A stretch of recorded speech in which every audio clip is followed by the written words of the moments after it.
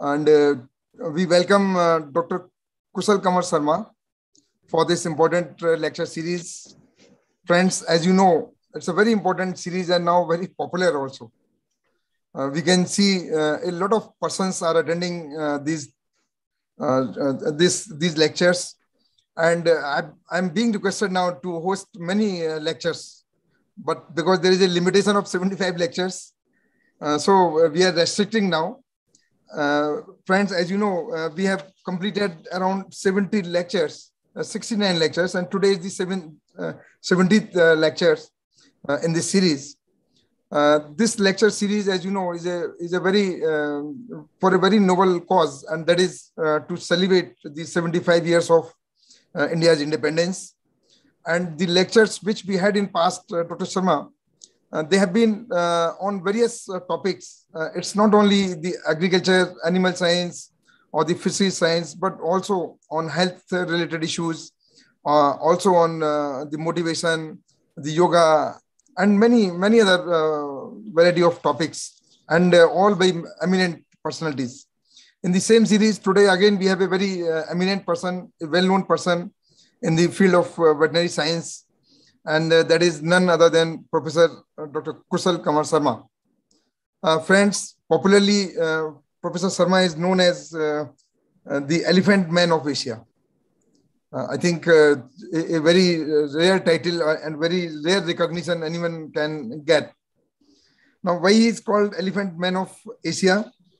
You know, he is known for this position or for by this name because uh, he is uh, fond of uh, loving the elephants and treatment of those elephants. Dr. Sharma handles over 700 elephants every year for over 30 years for, for preemptive and reactive healthcare. My compliments to you, Dr. Sharma, uh, that uh, you have so much love and affection for the elephants. Uh, friends, he has subdued 141 rogue elephants in most a world record by tranquilizing uh, method over 100 wild elephants for rescue, translocation, and treatment. He led the veterinary team in carrying out wild to wild rhino translocations in Assam as the lead veterinarian under the project IRV 2020. Successfully reintroduced rhino population in Manas National Park, Valmiki Tiger Reserve, in Bihar, Dudhwa Tiger Reserve in Uttar Pradesh, and many more. Uh, Dr. Sharma is uh, born in a village named Barama in uh, Nalbari district in Assam. Dr. Sharma did his schooling in Barama High School in 1976. Uh, uh, preemptive uh, university from pre-university from the Cotton uh, College in 1978 and has graduated in veterinary science in the year 1983 from College of Veterinary Science, Assam Agriculture University, Guwahati, as the gold medalist.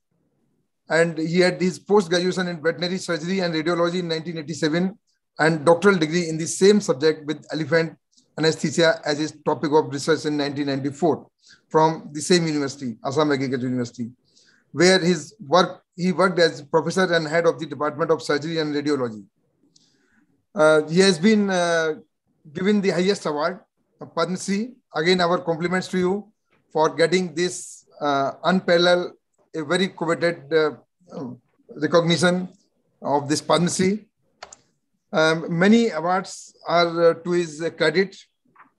Uh, Dr. Sharma has widely traveled and served in the Indonesia for establishing standard protocol for healthcare and management of their captive elephants and training of elephant vets serves as visiting professor in North Carolina and New Mexico University in US and delivered scientific papers in several international workshops and seminars.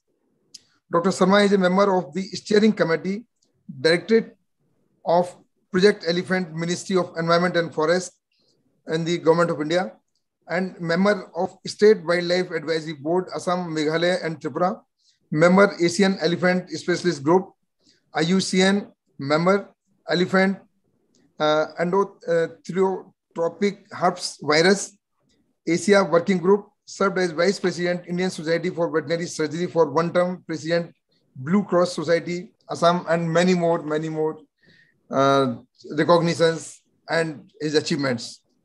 Uh, because we have to listen to him. So I'll not be able to uh, give more details about him because it's a long list of his achievements, of his recognitions.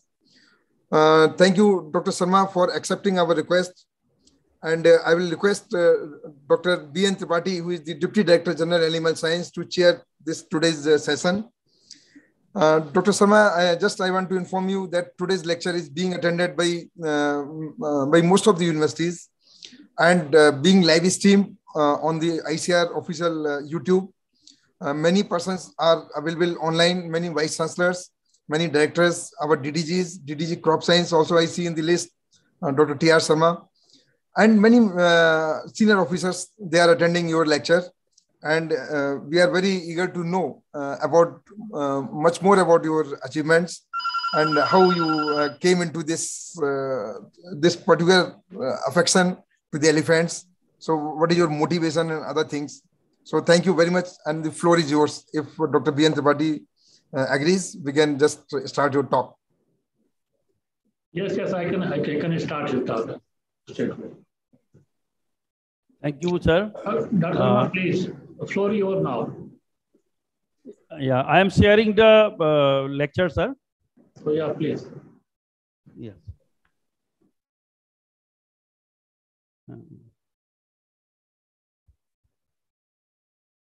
Share, share.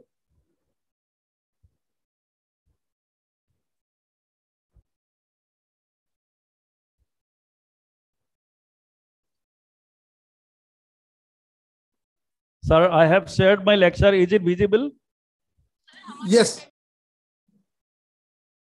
So thank you very much, sir. Uh, so first of all, I pay my uh, due respect to you all for your affections. And uh, before I start my lecture, because uh, the lecture series has been named as Azadi Ka Amrit Mahotsav. So I take this opportunity to pay homage to the uh, of our freedom struggle. And uh, after our country, our independence, the scientists have actually, though we received uh, or we got the independence from uh, the colonial rulers, but our agricultural scientists, they have given us the freedom from hunger. So I pay my due respect to everyone uh, before I start my lecture. So uh, today's lecture is uh, regarding the use of modern technology in uh, like solving the uh, coveted or the most contentious human wildlife conflict. So uh, actually the conflict refers to interaction between wild animals and people and the resultant negative impact on people or their resources or wild animals or their habitat. It occurs when growing human population overlap with established wildlife territories, creating reduction of resources of or life to some people or wild animals.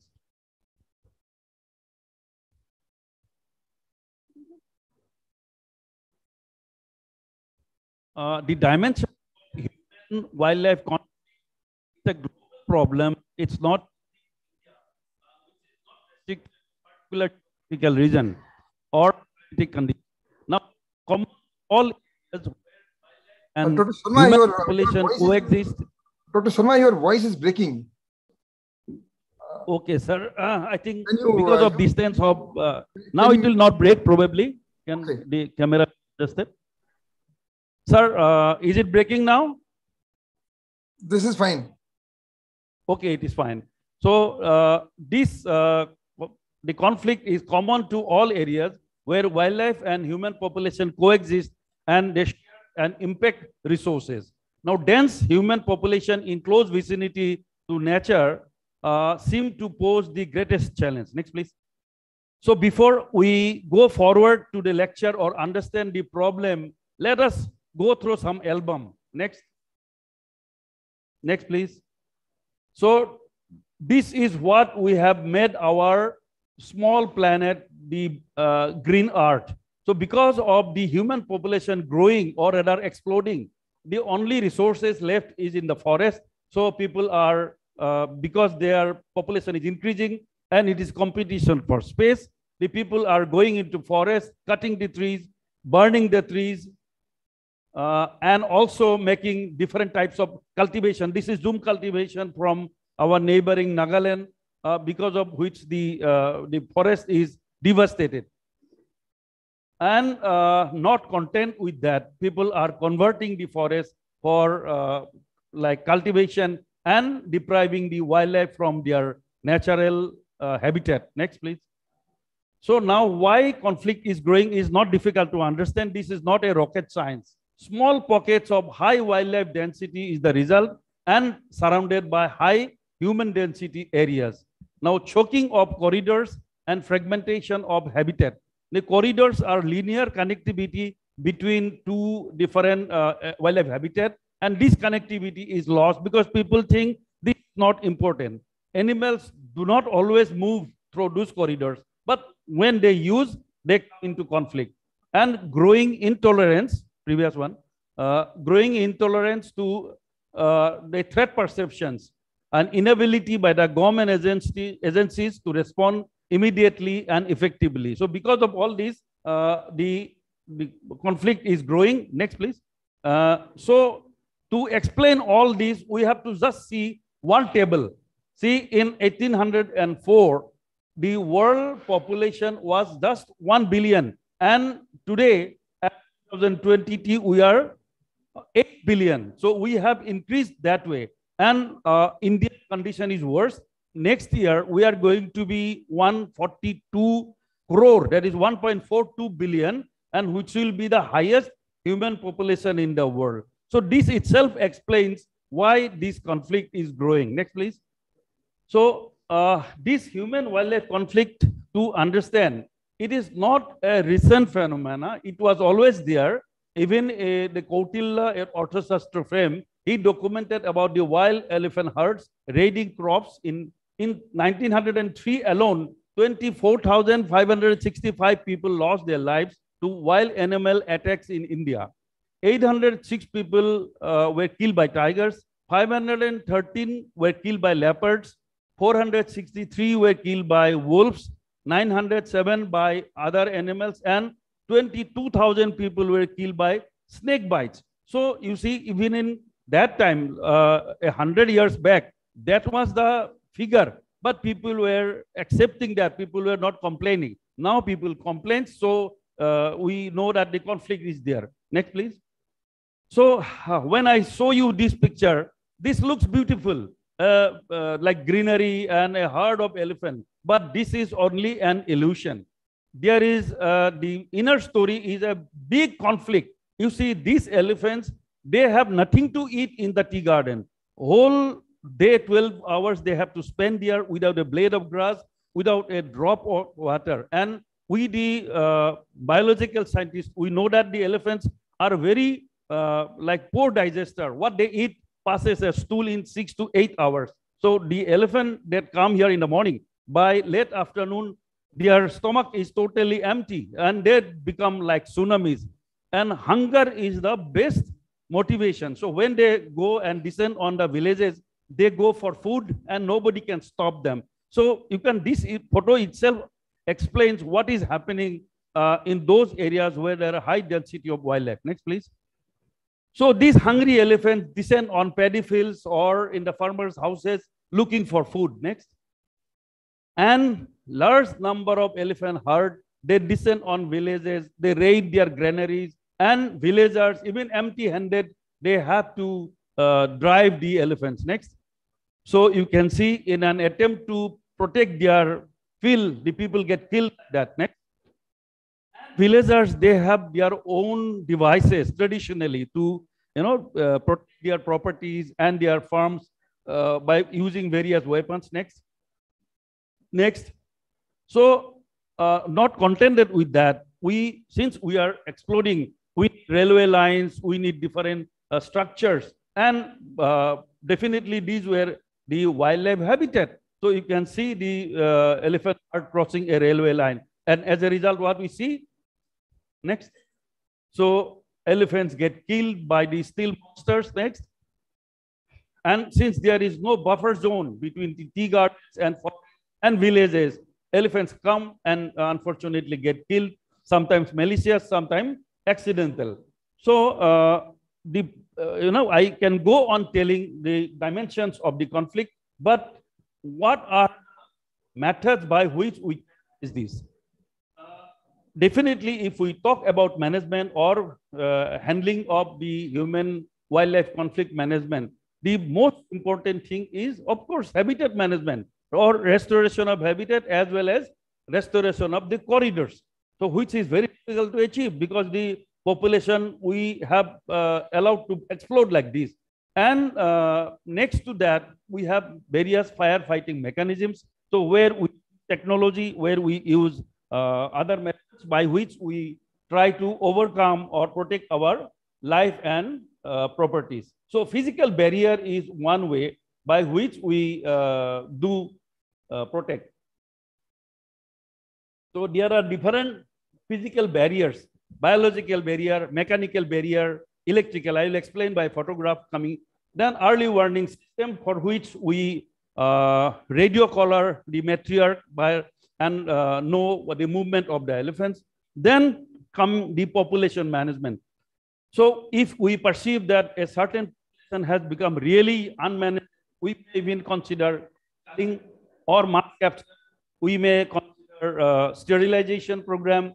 Uh, we uh, undertake translocation program or immunocontraceptives. Next. So this is a, a schematic diagram of a traditional method of elephant capture that was used in Assam uh, in the past before the Wildlife Act came force. Next, please. so uh, then we have different, uh, no, next, next, yes. So this is another method, uh, what is called a Kheda method of elephant capture. This was also introduced by the British in uh, Assam. So way back uh, during British time, if the larger animals were also captured. Next. So uh, this is again one uh, picture, beautiful picture of management of conflict. So here it is a traditional method actually, not any high technology. So you can see the kunkis, they are used to drive a large uh, herd of wild elephants. So uh, I was talking about the use of technology. So this is the radio collar. So we have put radio collar to the matriarch of a herd. Uh, and because of that, since we can get the signal from this and get it through satellite, continuously we know the uh, uh, movement and position of the elephant herd, and then we can take the protective measures. Next. Uh, a radio collared bull. Next. So this is yet another technology, thermal camera. So this is a very useful tool uh, in the management of wildlife. So this device forms an image using infrared radiation similar to a common camera.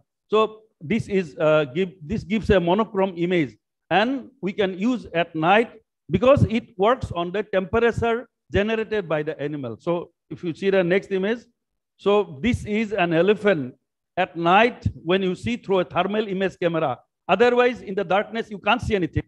When you use a thermal camera, you can see this. So this is a very useful tool uh, to uh, visualize or handle wild animal at night. Next. And besides that, of course, uh, physical barrier, this was from Kotak. So a physical barrier is created. It's an elephant resistant trance. Actually, this also has been devised uh, with the knowledge of the biology of the elephant. As we know that elephants have vertical orientation of their limb bones. They don't, don't have the leverage, they can't jump. So only a six feet uh, wide trance can be sufficient for deterring elephants from crossing one side. So this uh, not only protects the elephants from coming to the village, and also the villagers will also have a physical barrier. They can't penetrate into the habitat of the uh, uh wild animals. Uh, besides that, these trances can also be used as irrigation channels. Next. So this is a very nice, uh, traditionally available biological tool this is a thorny bamboo, very quite available in the north uh, eastern region. So this thorny bamboo can be propagated by tissue culture method. And those areas, uh, or if we want to uh, create physical barrier, we can create physical barrier in a very short time by using this thorny bamboo. Next, please. So these are, sometimes we are using power fencing. Then uh, coupled with that, the elephant resistant fence next. So I was talking about the uh, solar powered fence and energizer. So this can be used uh, very effectively. Not only elephant or other animal can be protected. So we can protect our villages, protect our uh, uh, house and other properties. Next. So here you can see the elephants are on the other side of the fence. They, they will never try to, this will not kill, but this will give a uh, shot. And uh, it's a very high voltage shot, but the, uh, it's, it doesn't kill. Next. So here it is a night light. This is a very small device and very cheap. It hardly costs you dollar. So at night, the light will mimic the uh, eyes of a predator. So Sonitpur district, we have tried this and we found this very effective because the elephant, they think that these are maybe tigers. And uh, during daytime, it automatically switch off. So this is a very useful technology by which we can uh, protect the farms of our uh. Next. So we use the elephants. Uh, so uh, very important tool that we have is the remote injection technique. So tranquilizing gun. So this has become the mainstay of the wildlife management system. Next, please. So you can see a elephant can be uh, subjugated by use of tranquilizing gun. From a distance, we can uh, like place drugs and we can uh, control an animal. So uh, over the years, has become the main technology in managing wildlife. So you can see one uh, such bull a killer bull being uh, subjugated. Next. Then sometimes we come across very big bulls that may become a killer. So such animal, if it is not possible to keep because of the degradation of forest and all that, we may capture and translocate. So this can be lifted into a truck uh, uh under the uh, like level of anesthesia. Then we can release in a destination so that you know, the uh, problem can be handled. Next, please. Next. So in a similar way, uh, of course, we don't do this uh, because of the objection of the welfare group, but this is also a technology and it has been found that animal for a short distance even can be uh, used upside down by using the livers. So in African country, they are this uh, for short duration distance uh, translocation they use. Next. So uh, similar way, putting the animal in rail. So I talk about mass capture. So this, uh, I was involved in Way Kambas in Indonesia, where as many as 52 elephants were captured by tranquilization method. So because the government of uh, Indonesia were contemplating to kill those elephants, uh, so the IUCN, I came as a member of the IUCN and helped them in capturing all those elephants and training. So this is also one method, uh, modern method by which a large number of uh, life uh, could be saved. Next. Now, uh, human leopard conflict is a very common thing, particularly in many areas, even in Mumbai, in Guwahati as well. So we have a lot of incidences of the leopard incident. Uh, so we can tranquilize and next. So, but these are not free from dangers so here I, I am showing you uh, a picture from West Bengal where uh, the team was attacked by the leopard. Next. So the people, because of the conflict, the tiger is the uh, our uh, country, our royal animal, our national animal. You see how the people are becoming aggressive towards the tiger. In fact, they kill it.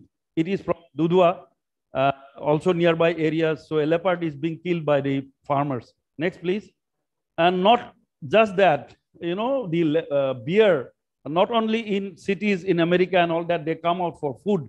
Even here we are having problems because of uh, hibernation problem.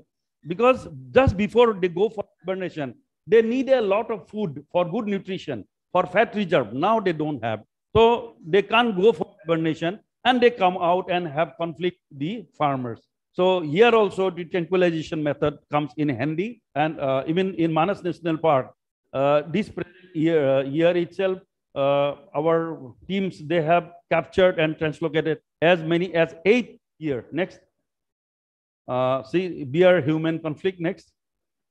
Then monkey menace is another very big problem. Uh, many parts of uh, India, we have monkey menace. So you can, uh, you probably have learned in Himachal Pradesh, they have already sterilized 100, uh, 130,000, like 1,30,000 uh, simian animals and they have uh, controlled the population slowly. So here also Assam government has formed, we are contemplating. So here actually the laparoscopic surgery technique will be utilized by which uh, very promptly uh, and safely the monkey, the female monkeys will be sterilized to contain the population. Next, please. So we have the other precious or prestigious animals that is rhino. And many people, I have just given the picture because many people may not uh, even realize that the rhinos existed in the entire northern India on western side up to uh, Kandahar in, uh, in what is called Afghanistan. So when Babar entered India, in one day he killed four rhinoceros in Kandahar. So today, because of the advancing desiccation and change of climate, so they are contained only in some areas. Next, please. So I am showing you the population and only viable population probably you can see in Kaziranga National Park and some small population in different areas.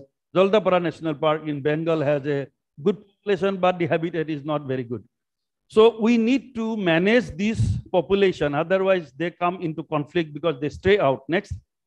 So here I am showing you one uh, rhino that strayed out into Guwahati. So we had to, in spite of uh, the rhino being in deep water, we had to take uh, the chances and rescue the animal from deep water. Next. The same case. Next. So uh, we have our own technology, but as I have said, uh, in Africa and other countries, developed countries, they have gone ahead. They have specially devised such vehicles that the vehicle itself has the pulley and lift and uh, like they can tranquilize the animal, immediately lift it on the truck. And I think the way uh, in India also uh, the conflict with animal is growing, we may have to think of similar uh, facilities. Next, please. So uh, here by helicopter for short distance, uh, animals can be translocated. Next. So uh, of course, uh, here in India, use of helicopters and all that are not very common. Though in some places they have used, we have used helicopter for uh, translocation of tiger. Uh, even in Bangladesh, they have used helicopter for darting of elephant. Of course, our elephants themselves are like helicopters. They are very safe uh, to take us to the forest and by which we can do tranquilization and other methods. Next. so uh, I am talking about the rhino translocation. This is the rhino that we have to translocate next. Uh, and it's not an easy job. You need to have a team, a well-knit team and having communication. so the team has located the rhino and they have informed. Next. Then the dirting team will go with the tranquilizing gun and I'll come to that. You have specific drugs for that. These are the dirting sites where you can dart because the they thick skin. You can't shoot everywhere. Next, please. So you can see the dirt hitting the rhino. Next. And uh, in a short time, within six to seven minutes, uh, when you use the specific drug, the rhino will go down. Next. So you go nearby and see the level of immobilization. Next. Next. So uh, various things you have to do when you are translocating, like radio collar, even in uh, smaller mammals also radio collaring is necessary because we need to monitor the movement of those animals. Next. So besides that, a lot of veterinary procedure are to be carried out. Blood collection for uh, the biological test, then uh, radio collaring, microchip implantation and all that. Next. Because we have to ensure the safety as well as we have to ensure monitoring of the animal post-release. Next. So pulse oximetry uh, during the anesthesia procedure, whether procedures on, the animal has to be lifted on a sledge. Next. So this is the structure of the, so a lot of science is involved in all this. It is not just design. So when it's designed, we did mistake. Again, we restructured and all that because uh, in such areas, you cannot use uh, a trolley that has a wheel. So it has to be sledged. So uh, now after a lot of uh, like experience, we have come out uh, very effective trolleys and all that. Next.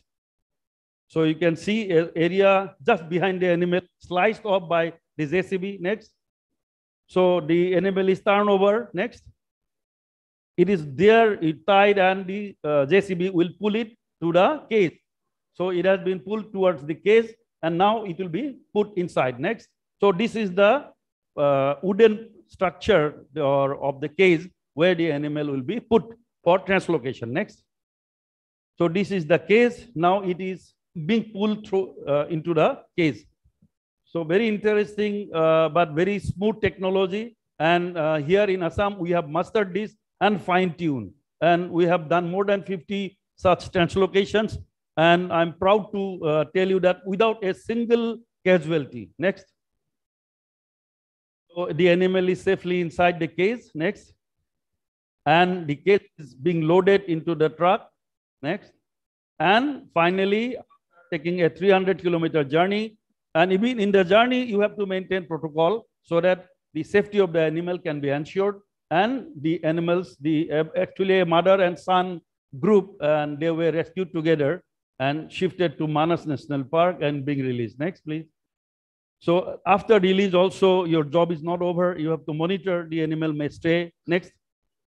So various methods, so radio collaring, then telemetry receiver, you also have a camera trap. So camera trap is not only for uh, movement, but for other smaller mammals also. You can see the population estimation and all that. Next, please. Then physical restraint, I'll very shortly. Physical restraint is not something very new. It is old, mostly used for snakes. Next. You go on, go on. So you use uh, various physical devices like net and trap. Next. So various types of, everybody is familiar with this type of thing. Then you have cannon net that you can fire from a distance and will drop on the target. Next. So dead capture for antelope in open grassland in Africa. Next. Box trap for smaller mammals. Then catch all poles. Next. Cat graspers. Next. Then comes the chemical restraint, which has been fine-tuned uh, to a great extent. And I must say this is also the contribution of the veterinary scientists over the years. And next, please. So basically, uh, these drugs that we administer from a distance has to be administered intramuscularly because we have to dirt. And then uh, most drugs administered uh, in wildlife are done through intramuscular route. Next. Some of the anesthetics are used intravenously, but here you have that option. And you don't have the option of uh, pre-anesthetic evaluation of the animal. So the safety of the drug is much a necessity. So various equipments are to be used. Uh, to basic principle is to avoid disturbing the animal, uh, uh the induction phase, and uh, the effectiveness of the drug to be injected. Drugs can be injected using a handheld syringe so these are all technology. Handheld syringe, of course, everybody knows that. But pole syringe or jab stick, blowpipe, pneumatic gun, and gun-powered uh, charged gun. Next. The handheld uh, syringe that I said uh, we use it, but disposable syringe. Next, please. Pole syringe. Suppose animal is uh, two meter away. You can't reach to the animal, and suppose you insert your hand, the animal will scratch or bite. So here, this is basically an extension of a normal syringe. And, and when uh, this can be used only when the animal is contained in a trap. Next. So you have various designs of pole syringes.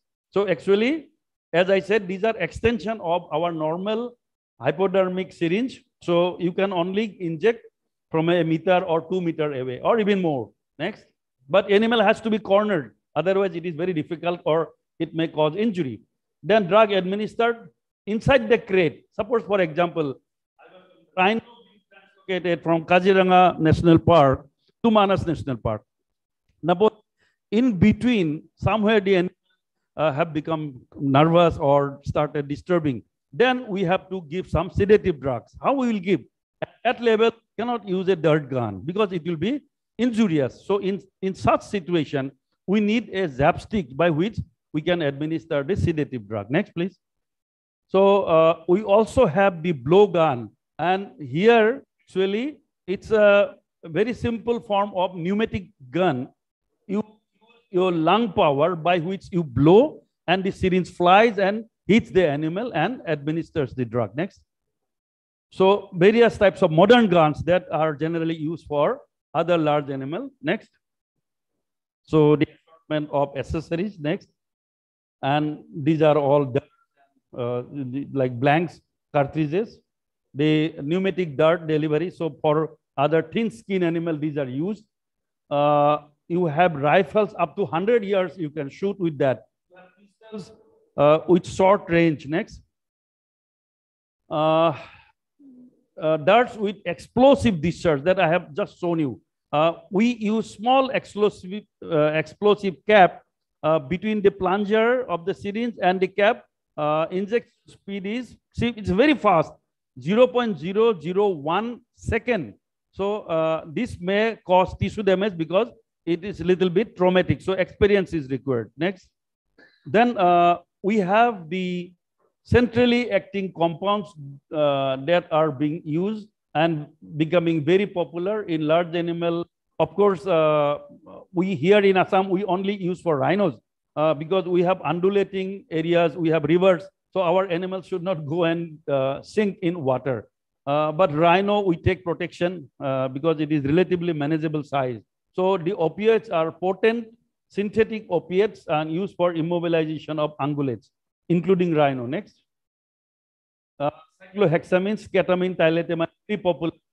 The only limitation is that you do not have a reversal agent for this But we use in combination with some uh, other alpha-2 adrenoceptor agonic uh, anesthetic drugs. Next. Then these alpha-2 uh, drugs, xylazine and medetomidine are very popular and these are potent drugs and safe drug even if you wish, you cannot kill an animal by overdosing also. So these are beautiful drugs. And I must say that uh, if you talk about the development of technology, these are our technology, without which today uh, the wildlife department can't manage wildlife. Next. Uh, we also go for various drug combinations and uh, synergistic combinations and all that. Next. The drugs are complementary and I, feel, I feel proud that we have standardized drugs uh, for every species, different type of drug, but uh, after a lot of experiments, our scientists, they have concluded that this type of combination is best for this type of uh, animal. So I'll not go in detail. Next, a similar script, so rhino and elephant and every animal, you name it, we have the drug. The problem is availability of these drugs are because these drugs are not manufactured in India, procuring from abroad. First thing, they are expensive. Second thing, a lot of restriction of procurement. But anyway, we are managing with that. Uh, maybe in future, things will be better. Next. Then uh, an ideal drug or drug combination by the present day wildlife vet. Uh, so these are, of course, theoretical. Next. Uh, disadvantage of chemical restraint. Uh, difficulty in getting closer to the subject because the animal is dangerous. So uh, animal, sometimes we do not use drugs. Next, please. Next. So uh, say this is uh, swamp deer, we are translocating. Next. And most important thing is that when we are planning to use drugs for wild animal, we have to take the responsibility of the life of that animal because these are uh, scheduled animal and any harm to this animal, uh, you are responsible. So you have to take the responsibility of the life of that animal. Next. And healthy animals are to be identified when you go for immobility.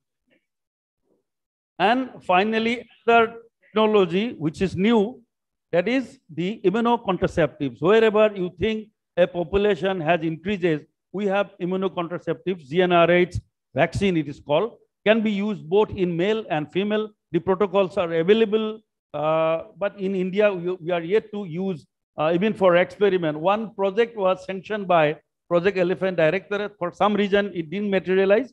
But now, uh, many foreign countries, they are using the GN vaccines for effective population controls, where we provide space to animals we may have to think of population control for larger uh, animals. For smaller animals, of course, we can go for uh, the uh, physical sterilization technique. Next. So with this, I conclude my lecture. Uh, a combination of many things, but my focus was on the use of modern technology for management of the conflict with animals.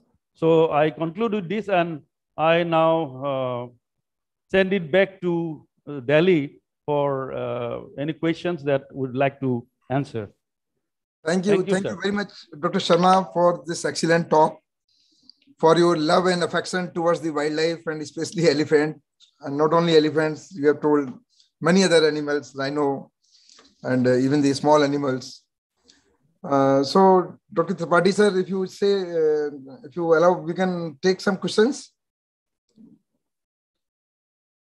I think that's how we can we can take some questions, no? There, are some questions in chat. So, uh, uh, Dr. Murli is asking how to contain the population of peacocks, uh, which is havocing uh, our grain fields. Any suggestion, Dr. Sharma? Sir, peacock is our national bird and it is a Schedule 1 species. So I think uh, before we uh, plan anything, it has to be a big, uh, you know, political decision. The government has to decide. But the sterilization uh, of the bird is not impossible. Even, uh, even uh, hormonal implants can be used, but we can also physically sterilize. And capturing these birds are not difficult. So we can sterilize the birds, the females, and then we can use a metal tag so that we can identify that, yes, this animal was sterilized uh, like that. I think uh, that can be one solution. But in many areas, uh, peacock are not to be seen. So maybe translocation can be an, can be an option. Yeah. So thank you. Thank you, Dr. Sharma.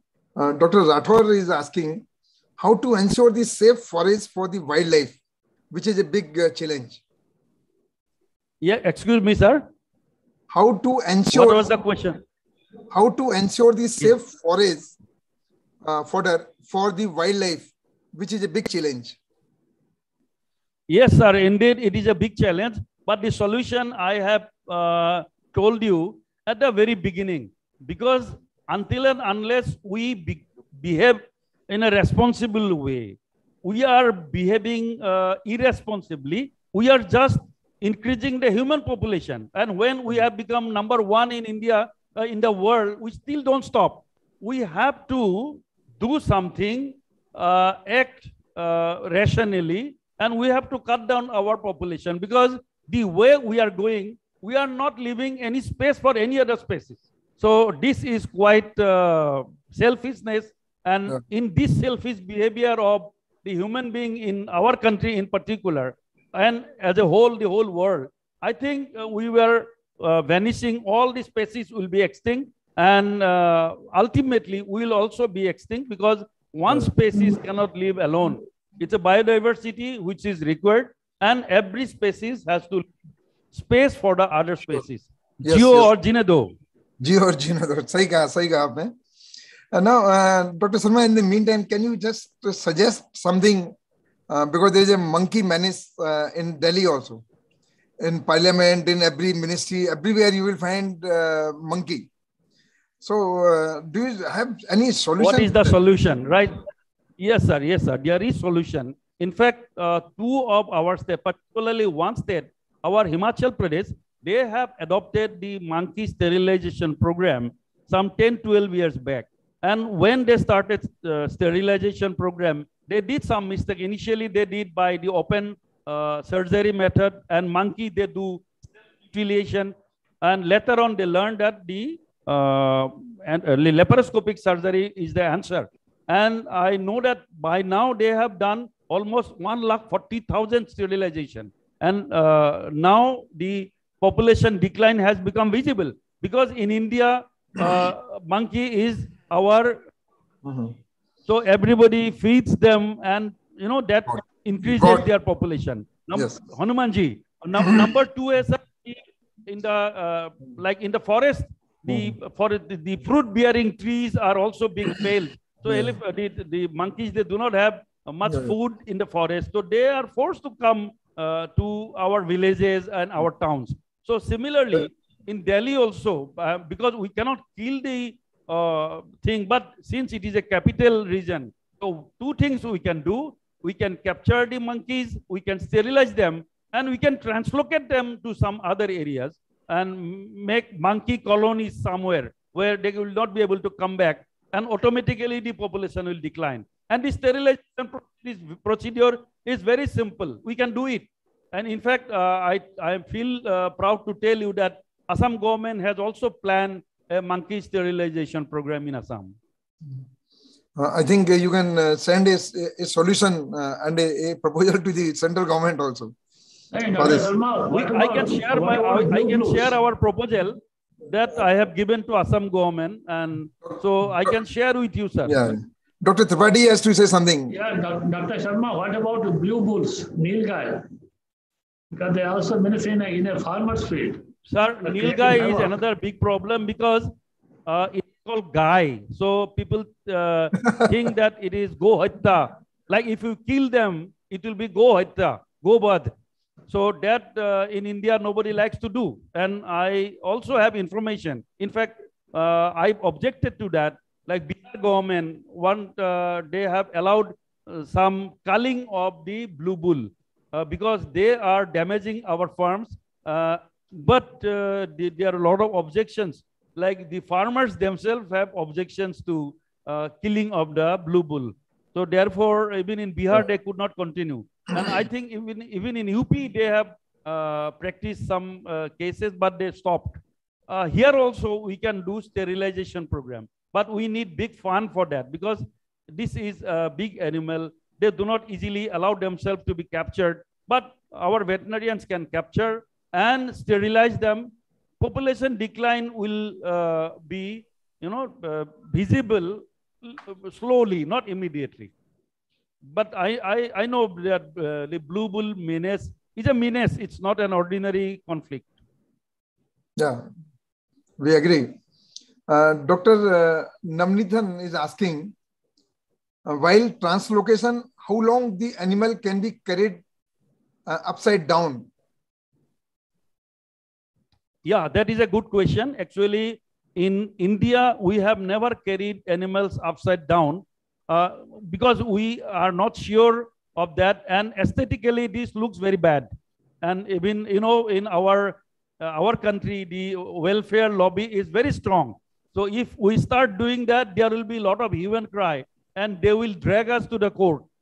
Uh, uh, just like I know one African elephant is there in Delhi uh, National Zoo, Capital Zoo. So one African elephant, uh, and I am told that a 16-year-old girl has gone to the Supreme Court complaining about that the uh, elephant is badly kept and all that, as if she knows how it is goodly kept.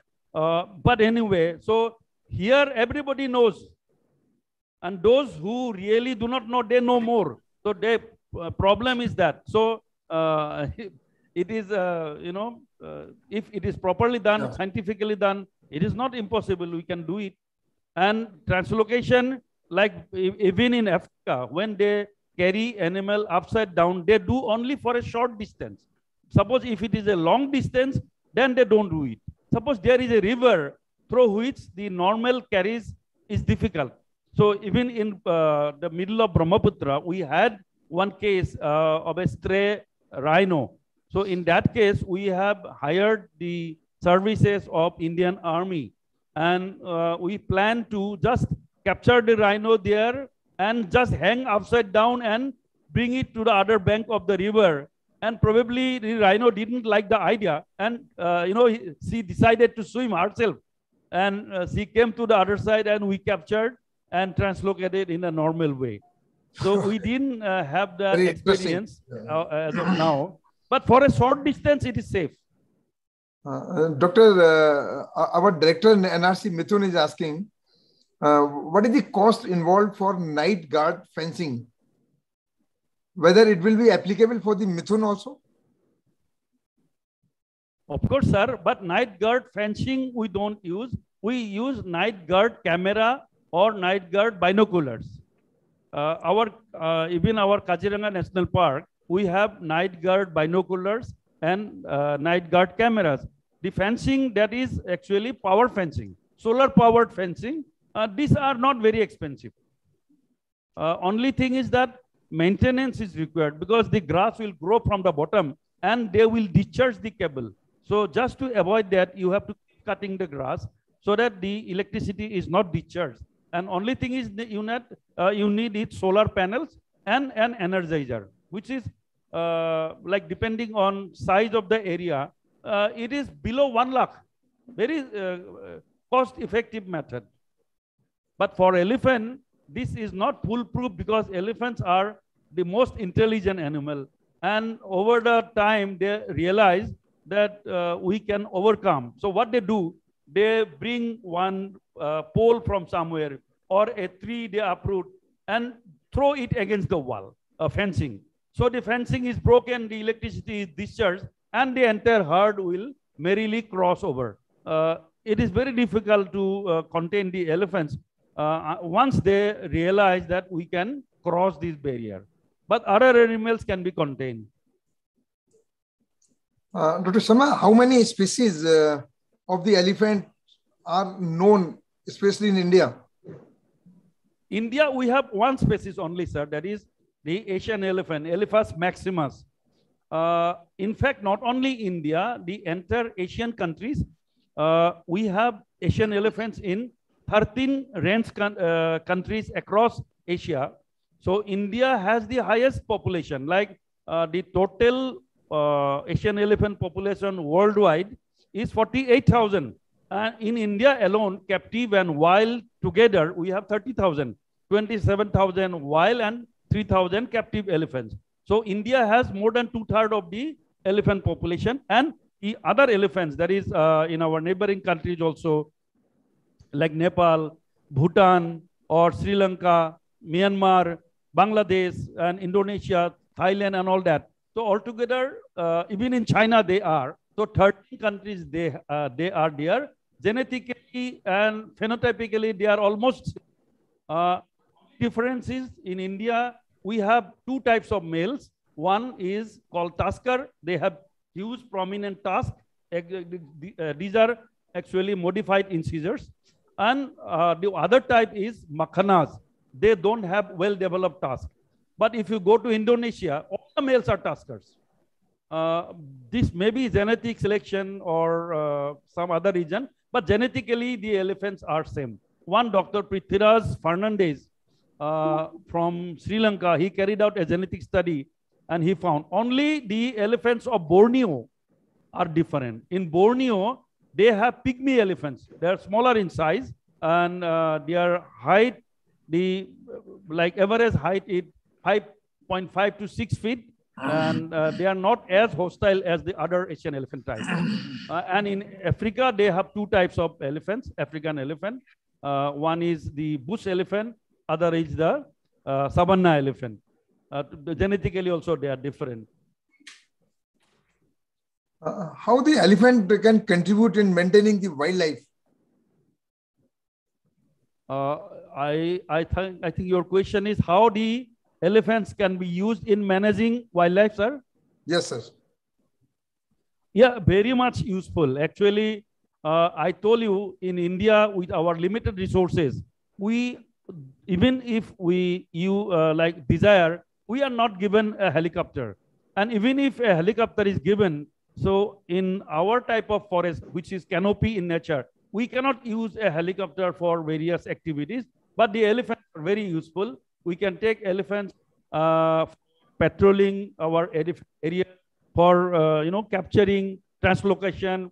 Uh, and if you come to uh, parks like Kaziranga or Manas, or say, for example, Dudhwa or Kanha Tiger Reserve. So in all those areas, where there are dangerous mammals like say tiger, say rhino. In such a situation, elephants are very useful. You cannot manage a park like this without the help of the uh, trained uh, captive elephants. They are very useful indeed. And also, I told you, I have shown you picture. Uh, Human-elephant conflict is a big issue, and we can very safely use the kumkis, the trained captive elephants for managing the wild herds. We can drive them where uh, our life uh, and that of the villagers' life as well as their properties are safe. Uh, Dr. Pralay Mandal is asking, uh, we are taking this as a last question. Uh, is there any SOP, standard uh, operating procedure, for providing oral administration of anti-TB drug in zoo animals? Because some zoo administration, uh, uh administering anti-TB drug to zoo animals, is there any SOP for administering this anti-TB uh, drug without screening for animals? Uh, actually, the anti-tuberculosis drugs are uh, like used in many zoos across India, of course, with uh, permission from the Central Zoo Authority. And uh, unfortunately, I know Pralay Mandal, he's from Bengal, and we also work together. He knows it. He worked in uh, National Park. So actually, most of the zoos, the biggest problem is tuberculosis. Even in Guwahati Zoo, we had big problem with tuberculosis. But after oral uh, medication, it became possible because tuberculosis confirmation is also a very big problem. You do not have the BSL2 stage laboratory everywhere and like identifying or demonstrating the mycobacterium uh, germs are very tedious and almost difficult for many zoos to afford. But the yeah. anti-tuberculosis does are affordable. They are not very costly, and uh, we can get it from the human medicine. So that is why people are using, and this has the support from Central Zoo Authority. So it is not illegal actually. Thank you. Thank you very much, uh, Dr. Sharma. Uh, may I request uh, Dr. Tripathi now uh, to uh, give the chairman's remark, concluding remarks. Thank you. Thank you, Dr. Agarwal. I think today Thank you, sir. you are seeing uh, more than around more than 225 people that joined on this platform only. And so uh, such interesting lectures. First, we would like to congratulate Dr. K.K. Sharma for, uh, for attracting so many people, uh, audience uh, to his lecture. And today we have a bounce audience. We have got uh, many senior people. Uh, our esteemed DDG, Dr. T.R. Sharma there and a few vice chancellors, uh, Kerala University, uh, Professor R. Chandrababu, and then Professor S.K. Rao.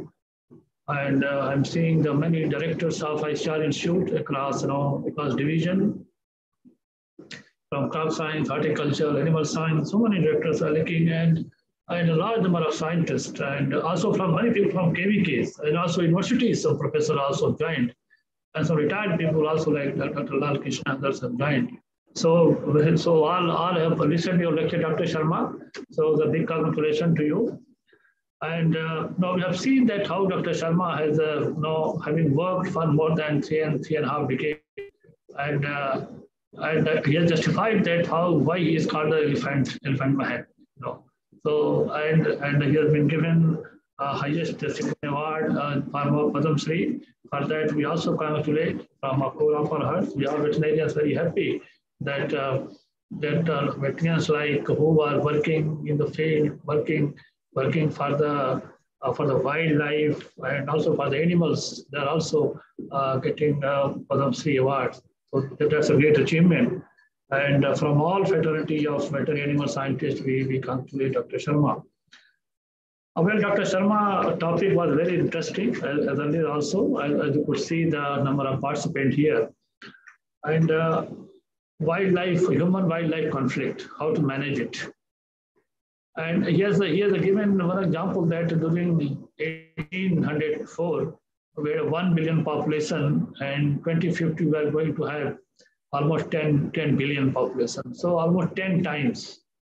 So land remains same, forest is decreasing, every, everything remains, but population increasing. So certainly this is all, you know, uh, if you if you just you know balance human and wildlife, then human is more responsible for all these than, than the wildlife.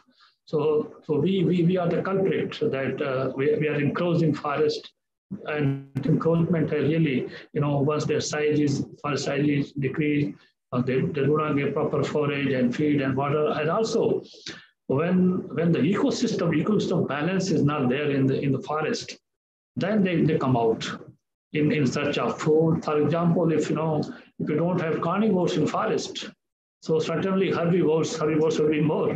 And, and when herbivores will be more, they will, they will all you know, destroy vegetation. And after that, they will come out of the forest. And, and so, so similarly, you know, there's a balance in the ecosystem. We had we had a, we already pyramid-like structure that how in the in the pyramid uh, and forest uh, and flora and fauna, each creature, each wild, each life is important in the system, and that, that is why when it is disturbed, then our ecosystem will disturb, and then this this conflict starts coming. Dr. Sharma has started, you know, very very uh, very perfectly by the definition of what is conflict and then he has defined that how uh, human wildlife conflict uh, looks like. And uh, he has given many examples that, that uh, by showing a lot of beautiful pictures. And he really, you know, took us around the forest and wildlife and uh, given so many examples from uh, some elephants, some rhinoceros, and also snake, and, and from others also. And he also also describe the methods of uh, how, how to manage this uh, uh human wildlife conflict uh, by, by different methods like you know habitat management, physical barrier, early warning system, and, uh, and population management, and and you know and finally contraception and how to manage it, and the thermal camera, the trend formation. Uh, see, uh, we, we know that the wildlife conservation is a prime agenda for the government and we're all doing, doing, doing well in this direction. But still, we lack many, many infrastructure and facilities to deal with. We, Dr. Sharma has told that how he has, he has improvised, he has, he has fabricated different, different, uh, different structures, different equipments to deal with. And, uh, and if you go for the anesthesia, he is, he is specialized in anesthesiology, you know, anesthesia. So every animal has got, you know, kind of idiosyncrasy and every animal has got a different dose, different system. And that is why wildlife people, they don't allow their animal, if, if any wildlife in captivity, they don't allow the animal to touch it, don't, don't allow anything to be given to them. So I, this difficulty I, I, I faced when, when we were the uh, for testing of our COVID vaccine in animals, in, in leopard and tiger and lion. So uh, they, uh, with all difficulty, they allowed they give, give few animals because they are scheduled one animal, so they are very precious also. While while they are in they are in wild, in forest, or in captivity, they are very important for all of us. Dr. Sharma has also uh, I mean answered all the questions and uh, by by different you know the issue there are, there are some more questions I was seeing in the chat box. So, with the paucity of time, we cannot take all. But certainly, the lecture has been impressive and uh, very, very interesting also. Uh, and perhaps everybody has enjoyed this lecture. And also, people will like to develop some love for the wildlife. No, uh, the way sometimes we have seen in in in, in the video, in the film, in the pictures, uh, so that how people are aggressive, they kill animal leopards or lions or tigers. Poachers are there. Uh, so, so that, that there are threats to wildlife also. Uh, and, and for all those things, we have got uh, Act also, and uh, of course, we have got the rules also, conservation law also. So, uh, so with this, I think uh, today, today's his, his, his, talk was quite comprehensive, and it has opened a new area of area of research also for the scientists who are sitting here. And, and perhaps Dr. Sharma may be getting a lot of calls after this talk um, because they will be interested to work in some, some areas and and perhaps in, in, in uh, maybe in the in the surgery or in medicine or, or, or in also. And uh, other way around, that wildlife, it is important to maintain it, they're also threat also because they, they are also, uh, I mean, the habitat of diseases also. So whenever we talk of any disease uh, disease control program, we always we take into concern wildlife also. Because if, if, the, if the disease, you know, disease the pathogen carriers are in wildlife, then perhaps uh, our surveillance program, our disease control program may not be succeeded. So therefore, wildlife wildlife is also important for, uh, for you know, uh, whenever we take up any national program for disease education. So um, I think uh, with this, uh, I will not speak more on that because we also develop many drugs, how he's going to try different combination of drugs, individual drugs, combination drugs, all he has been trying perhaps last three and a half, four decades. And, uh, and those experiences must, I hope that it must have been used by other other people, other in the, in the wildlife sanctuary and uh, those animals are in captivity. Tuberculosis is a great problem in wildlife, especially in deer. And it is quite productive to tuberculosis in deer. So I think uh, uh, this is also one of the issue that even if you are able to control tuberculosis in humans or animals, how to control them, them in, in the wildlife. So that is also really search out uh, some methods, methodology, some drugs, and maybe not exactly vaccines would be there to control tuberculosis in wildlife. So I think uh, we must give a big hand to Dr. B.K. Sharma because uh, of enlightening us for, for so many things on, on wildlife, especially on elephant. And with this, I, I thank the organizer also to provide me this opportunity to chair this session. And also Dr. Agrawal, because he has been, you know, doing 70th, this is 70th lecture. And uh, at, uh, we were able to manage few lectures also in animal science and veterinary science. So that people, he has been, he has been, has been lecture from all walks of life, you know, it is not only science, agriculture, craft, horticulture, animal, art, culture, and, uh, and even, even different acts, different commissions, people have been coming here. Uh, some, some spiritual people have also come, come in this, at this platform. Uh, from engineering people, physics, mathematics, economics, so many, uh, I mean, stalwarts have come on this platform in this lecture. And today, Dr. Sharma has been a part of this platform also. So this uh, Indian 75 years independence. So that, that, that's a great, uh, Dr. Dr. Agrawal, for your uh, you know, thank you, sir. Resilience, resilience for throughout the year, we've been managing it. You know? So thank you very much for organizing. Thank you, thank you, Dr. Tripathi ji, for chairing this session and for giving your uh, concluding remarks. And thanks to Dr. Sharma for excellent talk. Uh, I think it has ignited many, many minds. A lot of questions, uh, not only uh, complimenting you, but curious to know the same thing for snakes, for peacocks, for every kind of uh, wildlife uh, which is affecting their fields, their their colonies, their cities, whatever is there. So I think uh, it's a big problem. Uh, it looks like from this uh, from the comments uh, of all the participants. So thank you very much once again, Dr. Sharma, and I thank all my participants, our August audience, who have gathered in a, in a big number. It's not only the number of participants, but it is being live streamed in many halls uh, I got a message from Assam Agriculture University. I got message from many universities that they are live streaming in a hall where number of students are sitting there. So it's so, important to know. Uh, people, people are really querying that. What do you mean by elephant man of uh, India? So do they have number of um, more animal uh, elephants or, or, what is that? so anyway, uh, the things are uh, very interesting, and that kind of affection should be more and more with animals I think we all should uh, love them. We all should care for them, and uh, and there should be less and less uh, uh conflict uh, with the wildlife. So all those things are really uh, very educative and great learning for all of us. So thank you once again, Dr. Sharma, for this excellent you, talk and for agreeing this. Thank you and namaskar to all everybody. Namaskar. Thank you, sir. Thank you, thank you sir. Namaskar.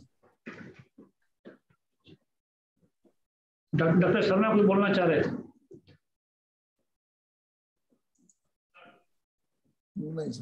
Sir, thank you, sir.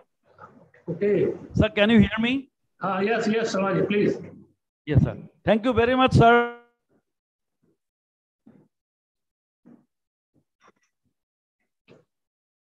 So I think we should close the meeting, also. We can close. Yeah. So now again, I think on, on 18th, again, we have got a very good lecture. Now let me announce here. On 18th, uh, we have a lecture from uh, Professor Madan, M.L. Madan, and the lecture will be at 11 o'clock. Designer technology for productivity increase among livestock. So I request all of you to please, you know, I'm not to remind you again, though you will get a link, but I request all of you to please attend this in large numbers because Professor Madan is, a, is one of the most you know distinguished scientists and orator in, in animal science. So I think you must attend it and get benefited. Thank you very much. We'll, we'll, we'll share with the link and other things.